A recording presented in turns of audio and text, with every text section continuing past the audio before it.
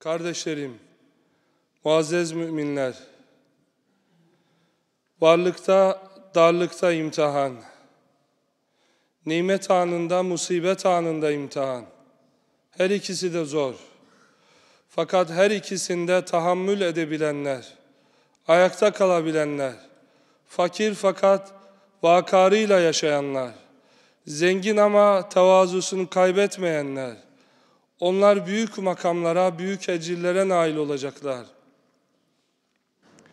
Ömer bin Abdülaziz rahmetullahi aleyh, İslam Devlet Başkanı, beşinci halife diye onu yad ediyorlar.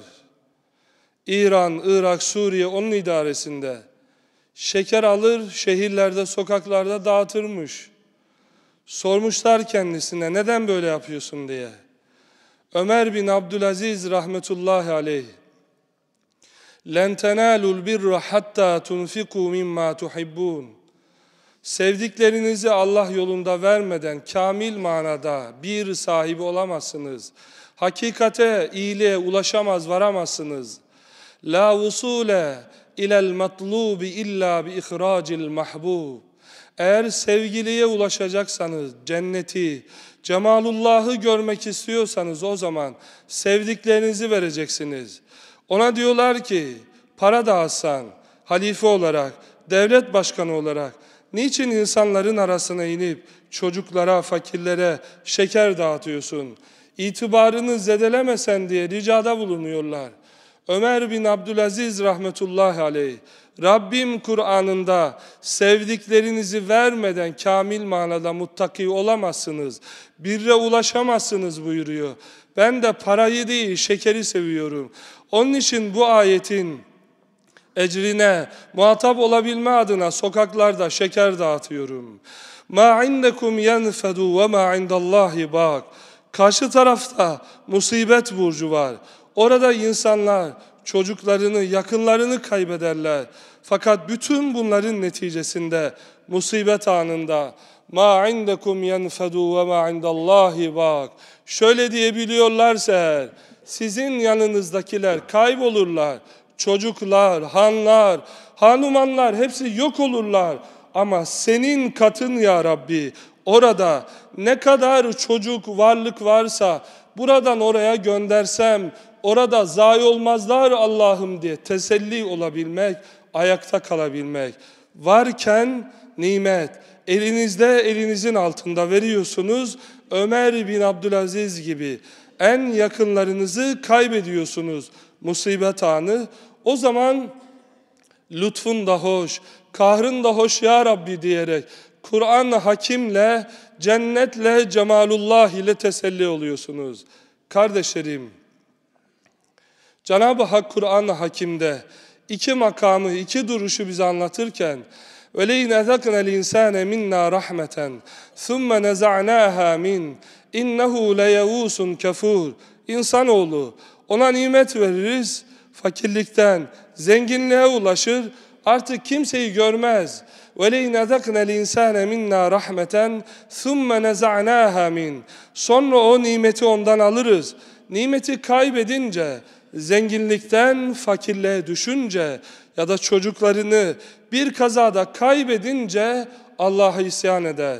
Nankör olur. Başka bir adam innehu leferihun fakhur Allah'a karşı kainatın sahibine karşı nankör olur o adam şımarır leferihun fakhur şımaran bir adam sevinen bir adam görürsünüz illellezine sabaru ve amilus salihat sabredenler ameli salih işleyenler onlar yıkılmaz onlar ayakta kalırlar iki burç var iki nokta var. Bir noktada Allah Teala nimet veriyor. Sonra nimeti çekip ellerinden alıyor. Bu adamlar nankör oluyorlar kainatın sahibine karşı. Fakat karşı burçta bir adam var. Allah Teala ona nimet veriyor. Sonra bu insan kaybediyor her şeyini. Zengin oluyor. Hastalıktan kurtuluyor. Çaresizlikten kurtuluyor. O zaman da yanına kimseler ulaşamıyor. İnnehu leferihun fakhur. Sevinen, şımaran bir adam görürsünüz. yıkılmayanlara bakacaksanız illellezine sabaru ve amilus salihat. Nimeti veren Allah'a karşı sabredenler, yokluk anında sabredenler, ameli salihleri olanlar, onların yıkılmadıklarını görürsünüz. Kardeşlerim, Kur'an-ı Kerim bize bu hadiseyi, nimet anında yıkılmamayı, şımarmamayı, musibet anında nankörlüğe savrulmamayı, Peygamber aleyhissalatu vesselam onun ashabı üzerinden anlatır. Ahzab, bütün güçler ittifak ettiler. İslam'ı ortadan kaldıracaklar. Allah'ın nurunu söndürecekler. وَرَدَّ اللّٰهُ الَّذ۪ينَ كَفَرُوا بِغَيْظِهِمْ Cenab-ı Hak ahzabı o koalisyon güçlerini Peygamber aleyhissalatu vesselam etrafından onun çevresinden dağıtıyor.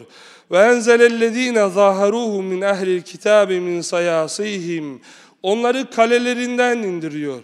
İslam'ın baş hasmı olan Yahudileri mağlup ediyor. Sonra Allah Azze ve Celle Müslümanlara hayal bile edemedikleri yerlerden dünyalıklar veriyor. Yeryüzüne Allah Azze ve Celle Hz. Muhammed Aleyhisselam'ın ümmetini varis kılıyor. Düşmanları mağlup oldu. Yahudileri ülkelerinden, şehirlerinden, kalelerinden Allah Azze ve Celle indirdi. Sonra onları yeryüzüne, onların mallarına varis kıldı. Bütün bunlardan sonra zenginleşen bir hayat var. Müslümanlar, Hz. Muhammed Aleyhisselam'ın öğrencileri, onlar nimetlere ulaşıyorlar. Evleri değişiyor, halları değişiyor, kilimleri değişiyor onların. Acaba duruşları değişecek mi? Fakirlikten zenginliğe giden bütün insanlar gibi onlar da innehu leferihun fahur şımaracaklar. Dünyalıklarla sevinecekler mi? Peygamber aleyhissalatu vesselamın eşleri, annelerimiz onlar bizim. En-nebiyyü evlâ bil mu'minîne min enfusihim ve ezvâcuhu ummehâtuhum. Annelerimiz, onlar kadın, onlar da insan. Allah Resulü Aleyhisselam'a geliyorlar. Ya Resulallah diyorlar. Bizim evde değilse hallarımız, kimlerimiz, yaşam şeklimiz bizim de değilse Efendimiz sallallahu aleyhi ve sellem hanımları dayatınca, hanımları direnince çekiliyorlar, kapanıyorlar. Sahabe-i kiram efendilerimiz bile radıyallahu anhum. Allah Resulü aleyhisselamı namazların dışında göremiyorlar. Kapanan, çekilen bir peygamber var. Efendimiz Aleyhisselam'ın eşleri okuyorlar Kur'an hakimin ayetlerini. Ya beni Adem, Adem huzu zinetekum inde kulli mescidin ve kulu veşrabu ve la tusrifu. Elbiselerinizi, kıyafetlerinizi üzerinize alın. Yiyin, için fakat israf etmeyin. Kul men harrama zinetallahi alleti ahrace li'ibadi. Allah Azze ve Celle'nin kulları için yarattıklarını kimler haram kılar ki? Onlar bu ayetleri okuyorlar. Ya Resulallah diyorlar. Dünya mallarından istifade etmek haram değil ki. Neden evlerimizin halılarını, kilimlerini değişmeye müsaade etmiyorsun ey Allah'ın Resulü? Fakat Peygamber Aleyhisselam'ın önünde وَلَا تَمُدَّنَّ عَيْنَيْكَ اِلَى مَا مَتَّعْنَا بِهِ Allah Resulü Aleyhisselatü Vesselam bu ayeti okuyorlar. Yani onların halılarına, onların kirimlerine, onların yalılarına, villalarına bakmayın. Onlar gözlerinizi almasın. Onlara verdiğimiz bu dünyalıklar, imtihan vesileleri, onlara bakıp da aldanmayın. Çanakkale Muharebesi'nde aşağıda Allah ve Resul davası adına mücadele eden İslam ümmetinin evlatları var. Bu milletin çocukları var açlar. Sadece bir çorba yiyebiliyorlar belki. Sadece kuru ekmek alabiliyorlar belki. Yukarıdan İngiliz uçakları onlara kağıt atıyorlar. Diyorlar ki eğer teslim olursanız, silahlarınızı bırakırsanız sizi dünyada hayal edemediğiniz mallara, mülklere, hanlara, hanumanlara kavuştururuz. Onlar bu ayeti okuyorlar. Efendimiz Aleyhisselatu Vesselam gibi dünya malına, hanlara, hanumanlara gözlerini çevirmemeye dair kainatın sahibine söz veren, ona bakan, Peygamber aleyhisselamın ufkunda yürüyen Müslümanlar. Kardeşlerim, Efendimiz aleyhissalatu vesselamın evi, O ev, devlet başkanlarının evleri, Kisra'nın evi, Kayseri'nin evi gibi, Mısır sultanlarının evi gibi olabilirdi. Eğer olsaydı Allah Resulü Aleyhisselatü Vesselam dünya mallarından daha fazla istifade etse işte Kur'an-ı Kerim bu haram olmayacaktı. Ayşe annelerimiz, ezvacı tahirat, Kur'an-ı Hakim'in ayetlerini okuyarak Allah Resulü Aleyhisselatü Vesselam'a müsaade buyur ya Resulallah Medine'de sahabe-i kiram gibi onların eşleri gibi bizler de dünyalıklardan istifade edelim Allah Resulü olmaz buyurdular.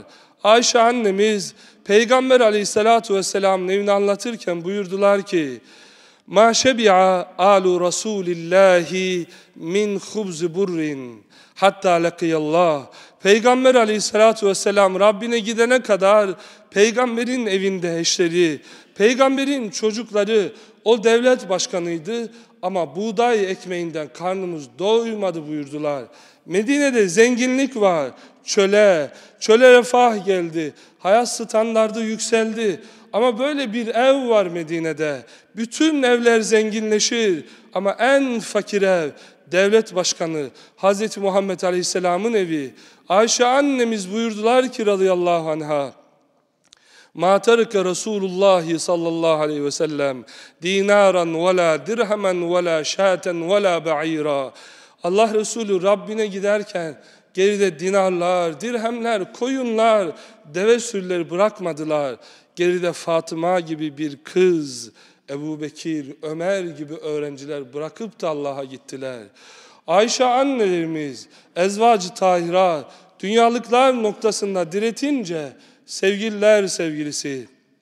Ya eyyuhen nebiyyü, kulli ezvacik, إن كنتن تردن الحياة الدنيا وزينتها فتعالين أمتعكن وأسرحكن سراحا جميلا Eğer dünyalıkları istiyorsanız Medine'deki diğer evler gibi evleriniz olsun.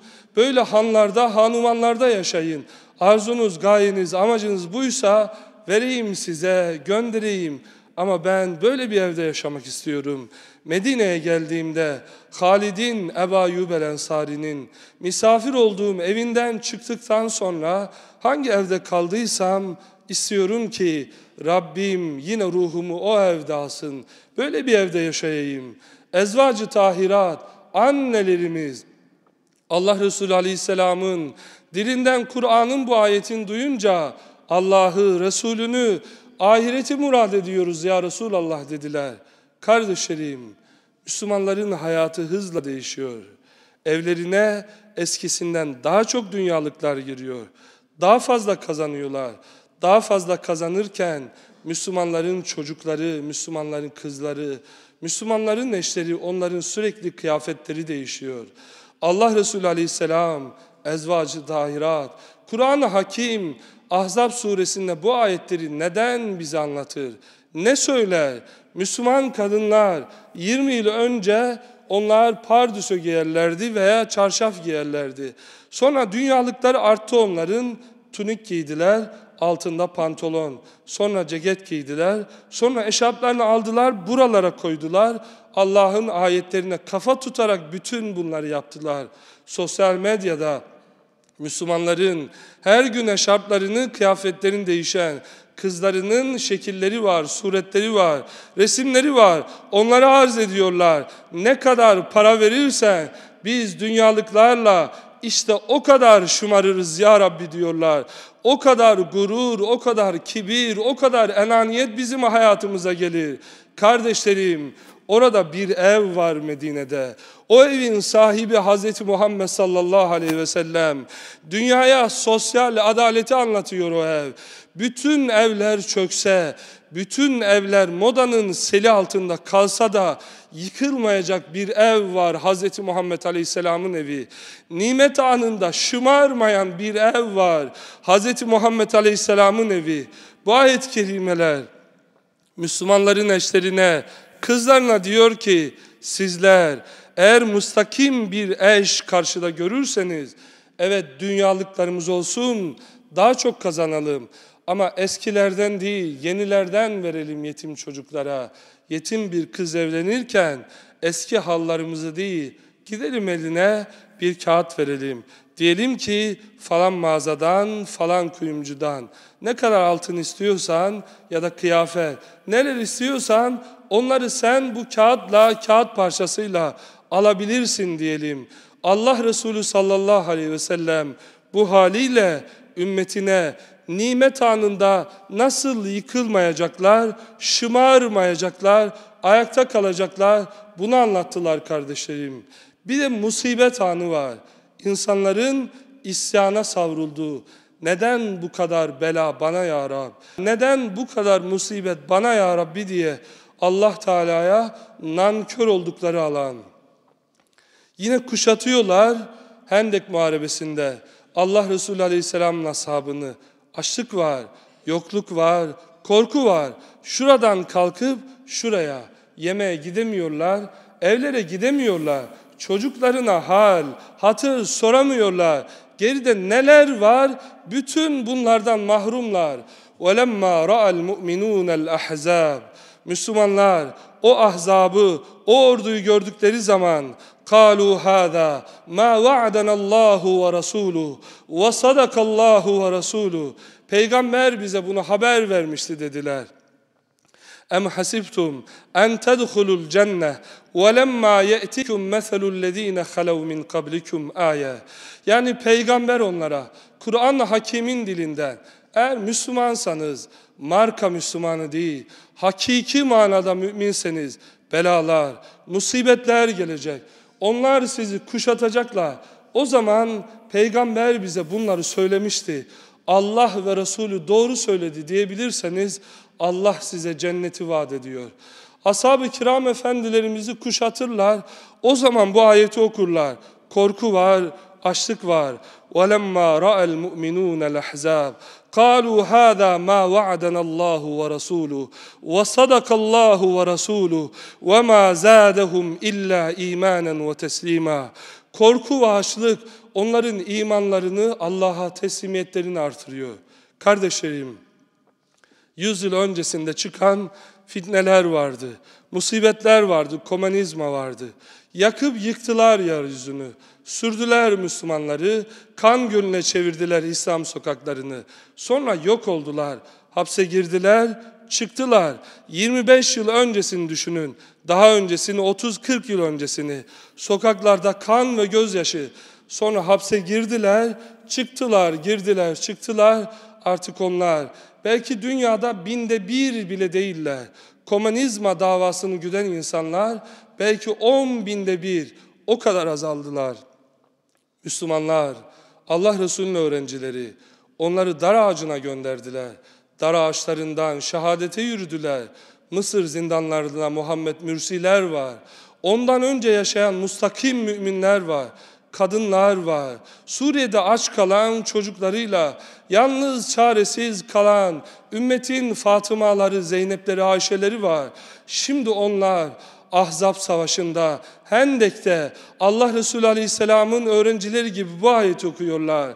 Diyorlar ki وَلَمَّا رَأَ الْمُؤْمِنُونَ الْأَحْزَابِ قَالُوا هَذَا مَا وَعَدَنَ اللّٰهُ وَرَسُولُهُ Muhammed Mürsiler diyorlar ki Suriye zindanlarındaki kadınlar Allahu Ekber dediler diye zindanlara mahkum edilen o kadınlar diyorlar ki biliyorduk Allah'ım Hz. Muhammed bize haber vermişti Allah'ım eğer Müslüman olursanız muttaki olursanız dünya mallarına değil ahirete talip olursanız o zaman büyük belalar, büyük musibetler gelecek. Bekliyorduk Allah'ım. Şimdi bütün bunların ötesinde senden cenneti istiyoruz Allah'ım. وَلَمَّا رَأَ الْمُؤْمِنُونَ الْأَحْزَابِ Her yeri zindan yapsalar, her yerine dar ağaçları kuysalar, Bangladeş'te Kamerun zamanları, Müslümanları Allahu Ekber diyenleri dar ağaçlarına gönderseler de onların ellerinde Kur'an-ı Hakim var. Aç kalsalar, yokluğa, kuşatılmaya maruz kalsalar da bekliyorduk Allah'ım diyecekler. وَمَا زَادَهُمْ illa imanen ve teslima. Kuşatılmışlık anında üzerlerine bomba yağarken küffar, küresel güçler ölüm kusarken musibet anında onların iman ve teslimiyetler artacak. Bir hasta hastane köşesinde imanı yoksa isyan ediyor. Neden bu belalar diyor. Fakat mümin, muttaki, mustakim, mustakim bir hasta biliyor ki bütün bunlar imtihan, lütfun da hoş, kahrın da hoş ya Rabbi diyor. Bela, musibet anında ayakta kalabilmek. Kardeşlerim, Peygamber sallallahu aleyhi ve sellem nasıl ayakta kalacaksınız? Varlık anında niçin şımarmayacaksınız?